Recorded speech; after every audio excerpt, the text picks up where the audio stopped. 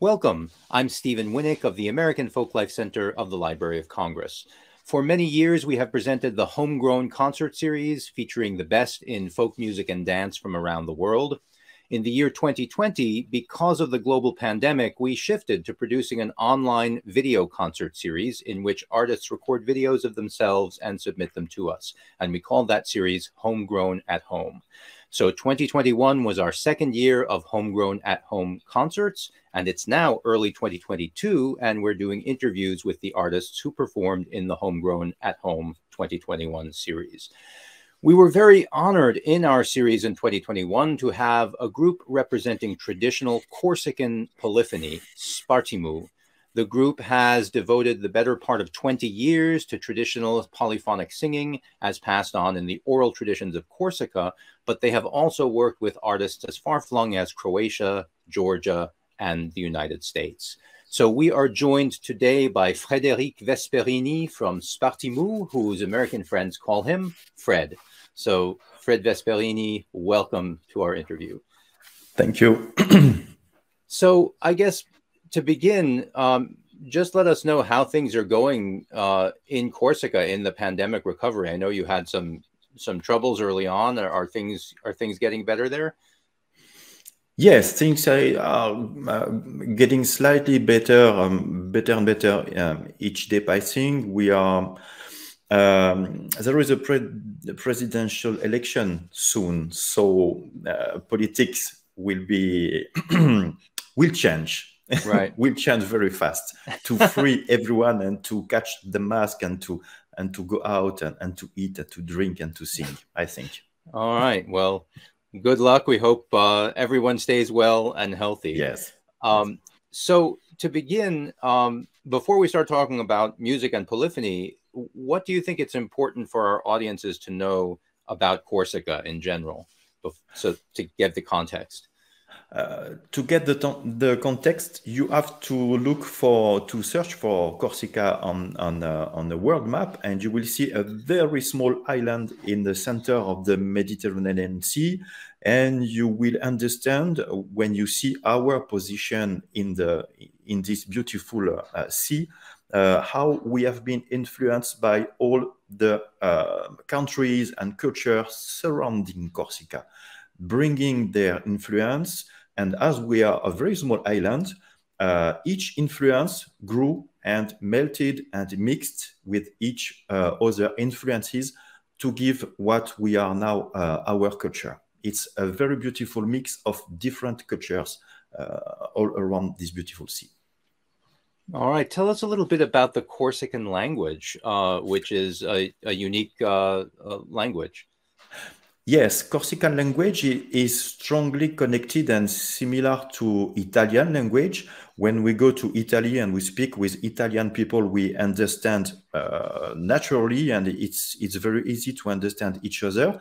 But as we are in this very small island with big mountains, um, the Latin and the Italian language brought in Corsica evolved is its own way and uh, gave this uh, specific Latin Italian style language.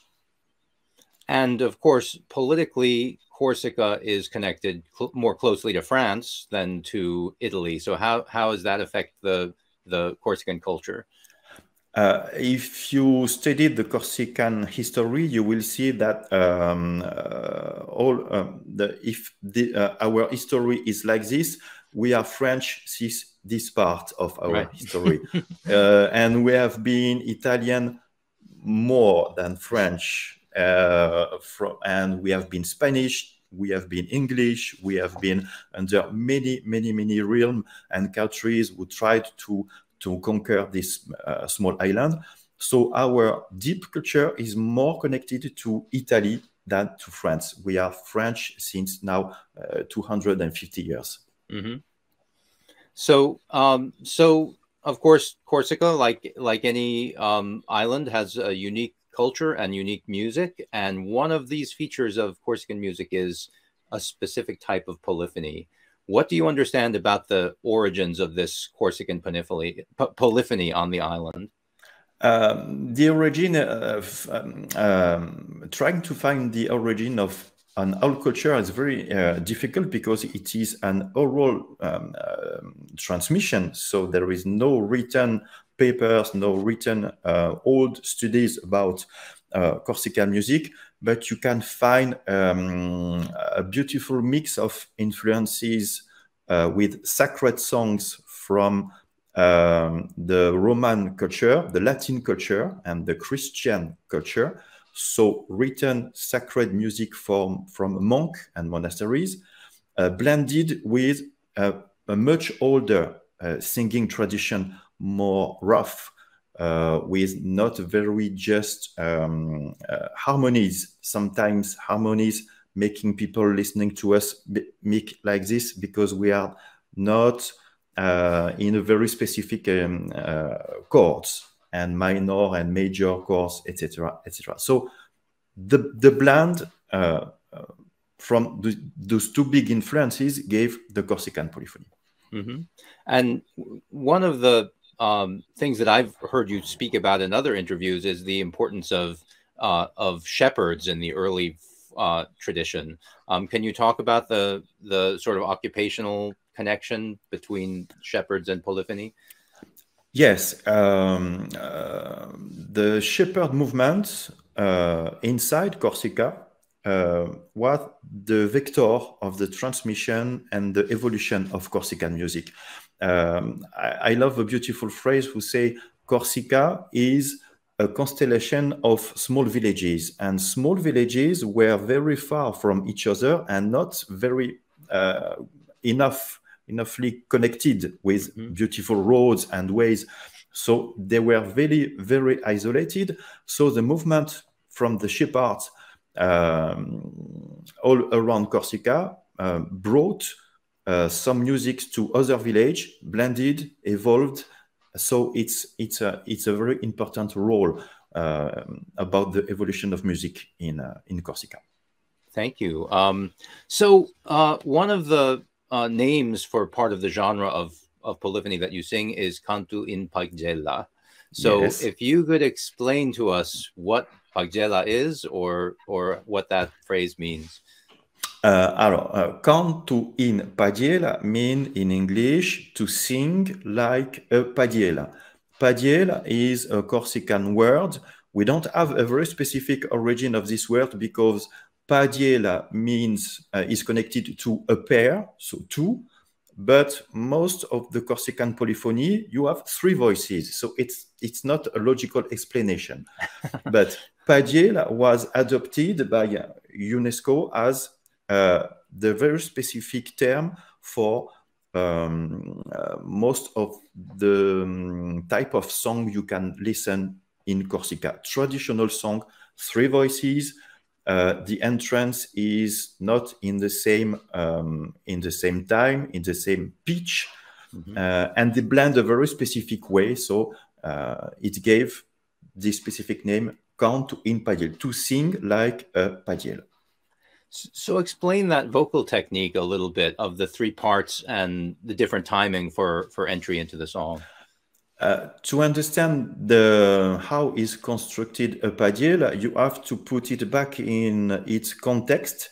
Um, it's sim it's simply a way for people to sing together, even if they don't know each other at the beginning.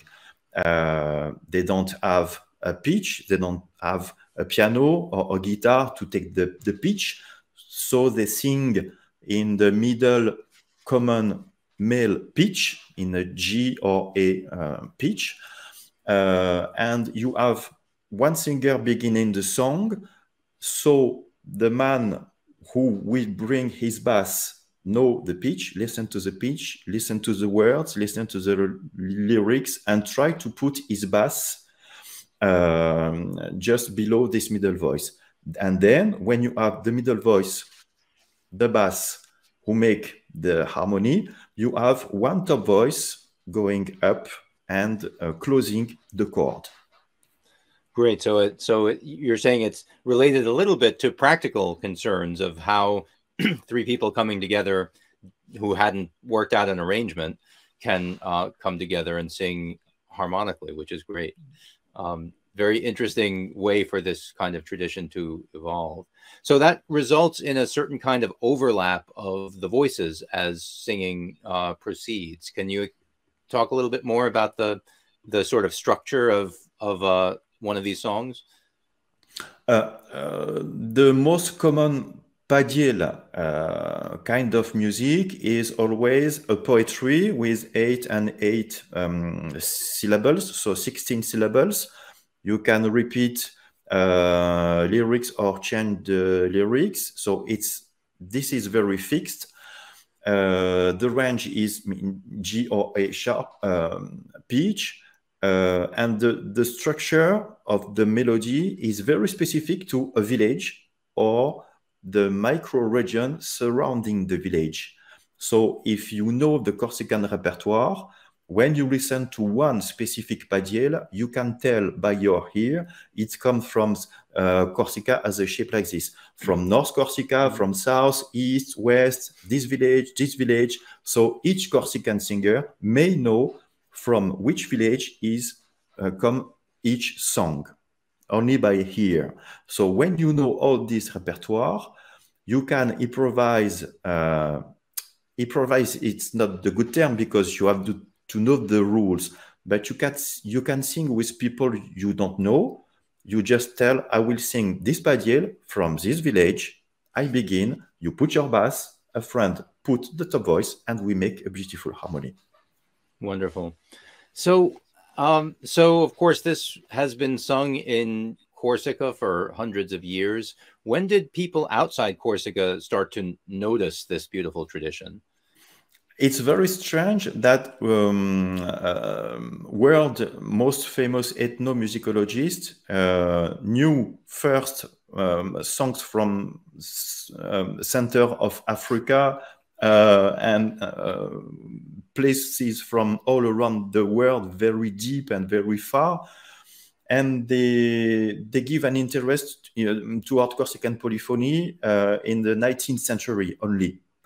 Uh, and when they started to study it, our repertoire, they find they found a very old, very old repertoire, very uh, vast, very big, and very deep, and very rough. So um, they looked late, but very deep. Mm -hmm. And um, more recently, you've mentioned uh, UNESCO, and they've recognized um, the Cantu Paghjella as an important and endangered tradition. They call it intangible cultural heritage in urgent need of safeguarding. So, how has that um, uh, helped preserve uh, the the tradition? Uh, to have the acknowledgement that uh, our culture is in danger help people to take conscience. Um, if the message comes from outside Corsica, Corsican people will say, okay, so if all people around the world say we are in danger, we need to take uh, to take to to take care and to be more more active to promote our music. Sure. So it's it's spurred on um, pr preservation efforts at home um, how how do people attempt to preserve this tradition at home apart from singing? Are there uh, collecting organizations, archives, and those kinds of things to keep some of this material? Yes, there is many uh, many ways to to to preserve a culture. You have to study it, to record it, to try to write on paper the words, the lyrics, the chords, the arrangement, etc., etc. But the most important thing we can do to save our culture is to make it live. Uh, if yeah. you have a recipe, it's okay, but you have to cook, to cook yeah. and to share the food with people you you you love. This, this is the best way to to make a, a culture still alive. Is to sing, to sing, to sing, to sing, and to share. Absolutely. So, in your concert that you did for us, you you sang, uh, of course, Corsican songs, but you also sang some songs related to Croatia and to Georgia. So you were sort of making a a, a relationship among different polyphonies from different places in in Europe. Um, explain the, those connections, if you could, a little bit. Uh, the connection, uh, the strongest connection we have with another country far from Corsica is with the Republic of Georgia. And it is very strange. It does not come to Corsican uh, point of view because um, we, we, we had the same crush on each culture, each other culture uh, from Corsica and from Georgia. Um, I am I have a, a very good friend and, um, and Georgian et, ethnomusicologist, and in his one of his book, he describes um, a USSR TV show showing a Corsican polyphony, and each Georgian people listening to this radio program said, "How people in this small island far from us sing like us?" So it's very strange. Uh, uh, it's very unique relationship between two countries very far, uh, singing in the same way. And there's there's no so far there's no real explanation of a historical connection that people have made. It's just um, it, it it's still a mystery. Is that right? Uh, it's it it is a mystery, but you have some you have some some uh, some ideas, um, but it's a difficult question when very far in two places you have two similar butterflies. Um, Charles Darwin can say uh, the ancestor moved into many parts of places, and the ancestor made this uh, uh butterfly look like, or they are two very different uh, ancestors, and the the evolution made those butterflies look like, but it's a coincidence. But we deeply think it's not a coincidence because if you study old movement from um, mankind uh, all around the Mediterranean Sea and Europe, uh, we may have common ancestors with Georgian people. Sure. Well, let's talk a little bit about Paghjella music and songs and some of the themes that that are sung about. I mean, one of the things that I noticed in the concert was Latin liturgical texts with Paghjella style music. How did that evolve or, or come to be part of the tradition? Um, uh, the way we sing Latin and Christian song in Corsica is very specific, and it explains what I told you just before. Is when you bring something to Corsica and you stay and you keep it in a very very long time, it evolves uh, in a Corsican way, and Corsican people can appropriate um, a specific repertoire of way of singing. We modify it with what is the very strong and old way of singing we have, and it gives a new kind of singing, a new kind of culture. Uh, when we sing a Christian and Latin song, we add the melismatic movement, the ornamentation we have from old people culture. Okay, so we don't sing straight like right. uh, monk in a monastery you can find in France or in Italy and in Spain. It's very free. It's a, uh, it becomes a free Christian uh, monk song. Yeah, I mean, it's interesting because there are liturgical song genres and forms throughout Europe that are very different from the way it's done in Corsica.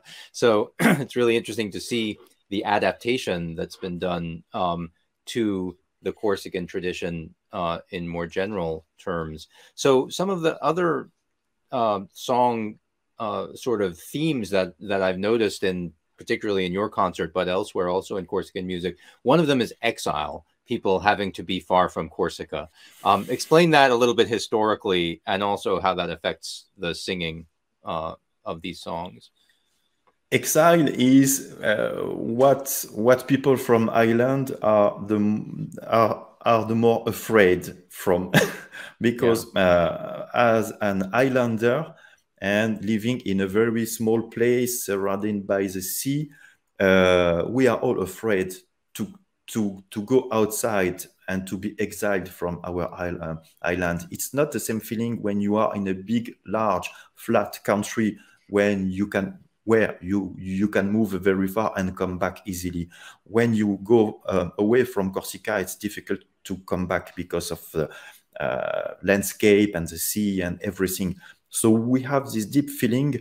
Um, to be afraid, to be exiled. So it's this theme is very um, often uh, present in the song we have in our uh, repertoire. Yes. Mm-hmm. Interesting. And um, and another thing that you sang about uh, quite often in your concert was Napoleon Bonaparte. Um, most people think of him as French, but of course he he was Corsican. Um, so explain the importance of Napoleon still in Corsican culture. Uh, Napoleon Bonaparte is born in um, Ajaccio, is uh, the, the city where where I, I live and I work. Um, so even if what he did is controversial because of it, it, it he was an, a big emperor who ruled over Europe. Uh, he made beautiful things and bad things. So yeah. in Corsica, we have the same feeling toward him. Uh, from the good things, from the bad things. It's very strange feeling with Napoleon Bonaparte, but uh, we are very proud to have this little man who uh, had a, such um, uh, extraordinary uh, destiny. Mm-hmm. So Corsican polyphony now has been a, a, global music that people have been aware of. Uh, I mean, in in on the music scene at least now for about I guess thirty or forty years. I can think of groups like Les Nouvelles Polyphonies Corse, A Filetta, I Muvrini, these groups that were important on the European traditional folk music scene. Um, talk about that sort of revival uh, movement that occurred. Uh, this musical re revival movement is connected to um, a, po um, a, po a, political movement we call uh, in the Corsican language the Riacquistu. Riacquistu means the reappropriation of a culture by by by by people. Uh, in the 70s, we took conscience that um, our culture was slightly dying uh, by the dilution in the in the French language and French culture uh, under French politic influence. So the political uh, movement was uh, followed by the musical the musical movement, who helped a lot to promote language, music, culture, etc. Uh, and uh, in, we made um, a Corsican group made the opening of the Winter Olymp Olympic Games, mm-hmm. if I am not mistaken. so uh, yes, it was a very important um, moment for Corsican culture to to to to spread and to be promoted.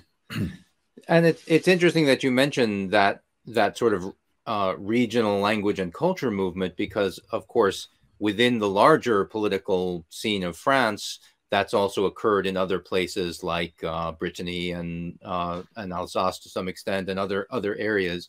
Um, do do do Corsican groups um, communicate with their counterparts in Brittany and other areas of France that uh, that have had similar movements? Yes, uh, yes, there is a strong connection with each region of France uh, who struggle to for the survival of uh, ling language and poetry and music and culture. But the very particularity we have in Corsica is that we are on an island, so uh, it is a little bit it is a little a little bit more different um, the culture is maybe more more strong and we when we have and we have to to fight more okay mm-hmm. but uh, french government is very afraid if he gives some freedom to one region he is the french government is afraid to give freedom to all the yeah. region who ask yeah so it's it's so it's very difficult yeah so they're they're they're thinking of the of the larger picture and it it uh, it impedes what people can do in the smaller areas and yes. in places like Corsica. Interesting. Um, so so we're so we've talked about the sort of revival movement that occurred in the 70s and after and then let's talk about Spartimu itself. When mm-hmm. was your group founded and how did it fit into the, that scene? Uh, we don't count, but we we can estimate maybe 15 years um, ago. mm-hmm. uh, a first gathering between friends who want to sing like uh, shepherds, uh, just mm-hmm. sharing music, singing Cantu Paghjella together. And a step after a step, we took we took um, a, a, a, half um, professional way uh, because we don't live with the music concert and um, uh, promotion. We don't earn uh, money. It's not our our job, but we try to to make it uh, like professional people uh, with um, a lot of works. We, I think we did not miss one rehearsal in 15 years. rehearsal are very important. Yeah. Because Cantu in Padiel, you, you don't have an instrument and you only can rely on your friend next to you. So you are building uh, a kind of music with no uh, with no no instruments, only polyphony. It's very very difficult. Yeah, it's it's interesting because you mentioned that the that the, the way the tradition evolved was to let people spontaneously come together and sing songs together but that's not what we're hearing when we listen to groups like yours because you have worked worked together so much so it sort of it it allows for that at the outset but then you have to be very detailed about your work together in order to get it to work as beautifully as it does for Spartimu. So talk about that work of rehearsing. Um, what what are you working out in those in those moments? Uh, we try to um, we, we when when I make when we by example when we work on a new song, I try to keep the way the song um, uh, were were born centuries ago. Uh, I don't play the whole song to my friends of Spartim. I sing the middle voice, so mm -hmm. they have my melody in mind. I tell them at this moment you make this bass and this bass and this bass. So the bass enter. And once you have my voice and the bass, I tell to the tenor of the group, you will uh, make this voice to make this harmony, a major chord, a minor chord, a fifth chord, a seventh chord, etc., etc. So we try. I try to to let the surprise to give my friend the surprise of discovering the song and we tried to build it from the ground. Mm-hmm. I never play as for Georgian music and Croatian music for outside Corsican music. We always build the song together. We don't learn from uh, the whole song in the in the headphone in mm-hmm. the jack. And that um, that sort of brings up another question. You you talk about the chords that you're forming, the seventh chords and everything. What is the musical training like typical in Corsica? Do people get music in school and have an understanding of harmonies, or is this a specialty that you've studied? Yeah. Uh, I don't. Uh, I have a, a, very strong difficulties to read and to write music. As uh, all Spartimu member, we only work with our ears. Mm-hmm. Uh, I, I, I, will say that uh, singing Corsican canto in Padiel is mostly um, um, an ear training process more than a vocal performance. Mm-hmm. Uh, we we don't learn uh, how to sing, so we sing from here. Sometimes we we end a concert very tight because we don't have a beautiful tenor technique and the technical uh, so it's very difficult to end a concert because we sing like it comes, like it goes, but we pay a very strong attention to chords uh, and to what your friends are doing with you and in at the same moment. Yeah, it's a deep, deep listening as is more important in, in a way than the singing itself. You have to just be in that group it's very it's it's amazing what you're able to do and uh, it's wonderful to hear it so um it so interestingly i mean this is one important aspect of corsican music tradition but there must be other corsican music as well um, how does the canto in paghjella kind of fit into a larger corsican music scene if if there is one yes um, uh, you can find different aspects of the Corsican music um, when you move all around Corsica. um, Corsican canto impadiel, only the polyphonic part of the Corsican repertoire, is mostly um, uh, present in the middle, in the center, in the mountain region of Corsica. Okay, when you go uh, close to the sea and to the beautiful beaches with beautiful blue sea, uh, you are more you have most the chance to listen to um, musical culture most close to Italy, mm-hmm. Napolitan songs, you know, with mandolin, with guitar, with flute, with violin. So uh, it very depends uh, on where you are in Corsica. Okay. And so, um, so, so, but there, but there are movements of other kinds of folk music and I assume there's also classical and popular music around in Corsica as well. Yes, and we, I, I, I would say we love each kind of music, and we like and we love to sing. Uh, whenever uh, in the in the car in the bathroom in the building in, in, everywhere we sing we sing we sing a lot of different variety of music and um, uh, it's like I, I would say like Georgian people, we love to sing more in harmony. So when you have a people close to you singing the main melody, what your instinct told tell you to make a bass or mm-hmm. a voice, never the unison. This yeah. is this is very very old reflex. Mm-hmm. So professionally, has uh, Spartimu been able to tour within both the French folk scene and the larger European festival scene? Yes, and we have been more often outside France than in France for concert. We have been in Australia, in Chicago, in uh, uh, in Georgia, in Sardinia, uh, but only one or two concerts in France. We love to go we love to make big steps. Mm-hmm. so when, when we travel, we travel very far to discover a very different culture from our. And and what is it like to be presenting um, traditional Corsican music, say in Australia? Who, who who are you mostly seeing at your concerts, and how do you uh, how do you teach and and learn from them? Uh, it's it's um it's a it's a very strange feeling when you sing uh, a Corsican song uh, outside from outside Corsica. You don't sing it the same way.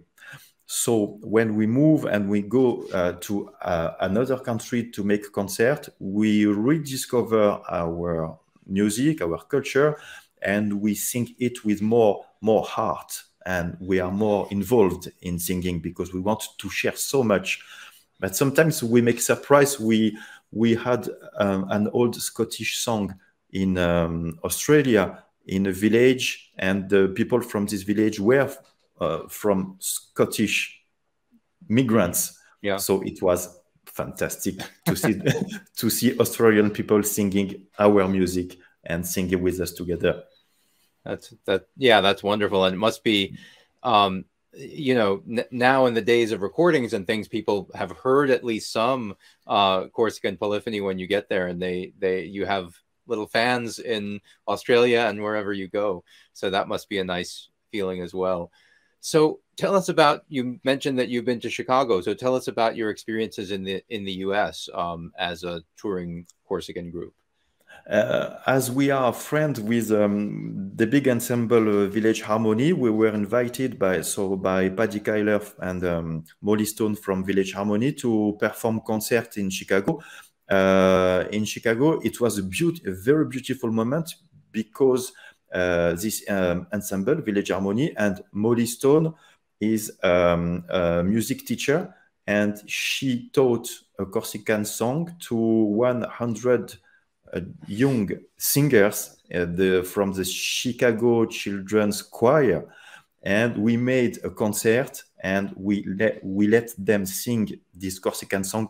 I had tears mm-hmm. when when when you listen to to people from so far singing your culture. It's it's uh, incredible and especially when they're kids and you know they might grow up and you know keep doing it and keep learning more about it. So, have you worked with Village Harmony in other contexts as uh, as well as the Chicago trip? Uh, yes, Village Harmony comes each two years in Corsica.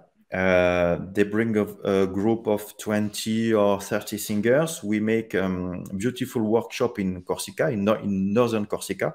So I teach them Corsican songs. And um, after a few days, we make concerts with them. And people from Corsica ask us each two years, Fred, when does the American come back. We want to, to listen to the American people singing Corsican music in the small church of Bastelicaccia. You can only put 100 people in the church, and it's a beautiful concert.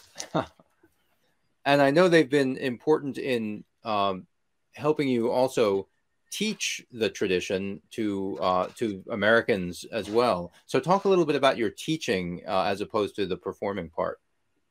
Uh, the teaching is is very it's it's a very difficult process because uh, our music is not written. You don't have scores. You don't have any music sheet.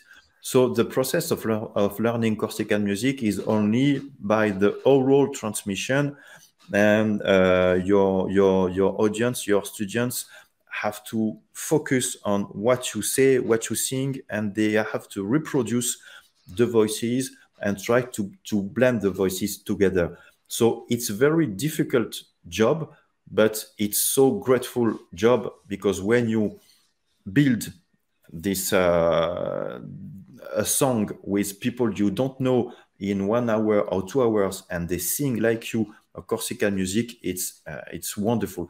They don't read music; they have to reproduce only by hear what I tell them to do. So it's very difficult for me and for them also. Mm-hmm. And you've done that not only in the U.S. but in Australia and other places in the world as well. Do you find there's a there's any difference in the in different countries about how how people are able to assimilate this? Yes, I think that um, the youngest countries in the world, uh, especially when when where you don't have a strong polyphonic culture, they are not used to to work like this. So they are asking always for scores for music sheet. But fred we can't sing. We don't have the partition. We don't have the music. Okay so i will tell you you will make what i do and it will work. Okay so it's it's a it's a uh, but it's beautiful because we give them a new process to learn songs so they can focus on other countries like Corsica, like Georgian music and like other polyphonic tradition. Mm. It gives them a new way to learn music. So it's it's very nice. Yeah, you're giving them new tools that they didn't have before because they yes. were re too reliant on the ones that they had. Yeah, exactly. That's, that's very interesting. Um, so um, you had talked a little bit before about about politics in general. Um, mm -hmm. how how has politics affected Corsican music over the last few years? Do you think? It's a it's a difficult question because um, music is connected to language, to identity. So so you have to uh, take a step back and to have a global vision of uh, what France action uh, was toward Corsican culture. Uh, like I said before, France does not want the France territory to be cut in pieces. Yeah. And to okay and and uh, to to and and to explode. So they took a lot of decisions that are not very good from our point of view for our culture uh, corsican language is not a language for france it is uh, uh, according to the definition in the book it is a language a language is an ensemble of words to communicate in sure. a community. Okay, but Corsican language it's not recognized by France like uh, a specific language. It's yeah. just a way of, of talking in the small island. it's yeah. not a language. Yeah, so that's going to affect um, all kinds of everything. things. Yeah, yes. everything. Yeah, yeah. That is that's unfortunate. Um, and uh, Uh, so uh, one thing that I noticed also is that so we're talking about politics, but there's also sort of social changes and social developments all over the world. And one thing that's interesting about the Corsican polyphonic tradition is that um, until recently it's exclusively male. That is, you know, this is a singing tradition that men traditionally did and women didn't. Um, but now I think that's changing to some extent. So talk about um, the entry of women into the into the tradition. Yes, the entry of the woman in the Corsican tradition. Uh, uh, it's it's it's it is logical, and when when we make workshop, we have more women than men. It's not because we are nice guys and with black shirts and with a kind of uh, Maybe, power yeah. to attract women, but it's not. Uh, because they want to appropriate the Corsican polyphony and they want to sing Corsican songs. Uh, now they can, because we are in this century now, they are allowed, uh, the word is not allowed. They can because they have time to. Yeah. But 200, 300, and 400 years ago, they did not have time to sing with with with with, with male. It was uh, singing Corsican polyphony was a role devoted to men because of the social conditions of this old time. Okay, it's not a will to separate men and and women, but um, it was different activities uh, depending of if you are man or woman. Yeah. So it was, and we talked about the the shepherd connection, and that's that's one of those conditions, right? Um, yes. That that shepherds were typically men, and so they were together for Mostly long periods of yes. time. Yeah, had yes. time to sing. So so there was never a uh, there it was never forbidden for women to sing these songs. It just didn't happen naturally very much. Yes, and um, if if you go in a wedding or funerals in Corsica, in some villages, you have um, you have always uh, till today the way of placing people in the in the church the men in, in the left mm. the women in the right and only uh, men are allowed to sing with the priest the repertoire okay so it's uh, uh till today this separation is still um, alive interesting alive. so well you know, it, it's good. I think that, as you say, women are entering this tradition, and it's it's very logical, and it sounds like it's going to be popular as well for women to sing this. So we can be happy about that. What other changes do you think might be in store for the future of Corsican music, polyphony, and other types of music? I think um, we are a little bit afraid of the changes we can bring to the Corsican way of thinking. Uh, each time I make a workshop, uh, each, each, each, each time I teach Corsican music, I try to be as close as possible as what I heard when I was a child and from the recorded the, re the recordings we have from the beginning of the 19th century. We tried to keep this specific way of singing and we don't want to be pop singers singing Corsican music. Uh, everything to be flat, to be perfect, to be beautiful, to be, you know, with the, all the uh, assistance uh, of the computer you can bring to music to to erase all uh, uh, notes outside the box, outside the range. We want to sing as uh, close as possible as the traditional singers we heard and we respect uh, it very much. Mm-hmm. Very interesting. So let's talk just a little briefly about making the video that you made for us. Um, you you went to several different places to sing, but one of them is the place where you said you never miss a rehearsal in all these years, and you go to the same church to rehearse. So talk about your relationship with that place. Uh, when um, when we sing in this church, um, it is not because we make the promotion of our um, our Christianity or of or, or, our religion, but when we sing in a church with with Spartimu, as Spartimu, we are five singers. When we sing in a church, we are six because the harmony we try to make in a church uh, like Sardinian singers trying to to to um, to make beautiful harmony, beautiful chords only with three or, or four notes. It's a challenge. So we are strongly connected to our churches because they are the uh, the first houses built in Corsica and where all the Corsican people gather, uh, make baptism, wedding, funeral. So there is a strong connection with the churches, but mostly for the sound, not for the religion part. Mm-hmm. And um, another aspect of the film that was wonderful was the the drone footage of Corsica. Um, how did you how did you find that and and work it into the the film?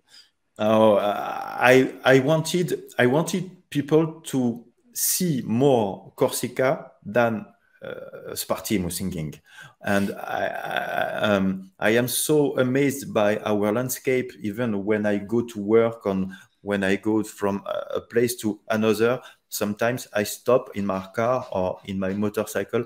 I look at, at the sea, uh, everything surrounding me. Um, and I am so happy to live in this beautiful piece of heaven that I wanted to show you where we live. And I hope you enjoyed all, all the beautiful landscapes. Well, I have to say it was a it, it was not just a, a, wonderful concert, but it was a wonderful film, and it looked like you know a real piece of cinema that you could go to the go to a theater and see. It was just beautifully done. So, thank you thank so you. much for putting that together, Fred, and thank you for participating in this interview and in our concert series. We're just delighted to have you. So, for for a last question. Um, just what do you, what what would you like to say to our audience if that we haven't touched on yet if there's any uh, advice or anything you want to tell them about your tradition i hope you enjoyed this movie i hope you you you enjoyed what you saw what you heard and i hope you will come to corsica to discover this beautiful i say again piece of heaven on earth please come to corsica and visit and and uh, contact us and meet us and and just we, come to Corsica. we will all try to come and we will take you up on your offer. Thank you so much once again. Frederic Vesperini from Spartimu, Corsican Polyphony. Thanks once again. Thank you very much.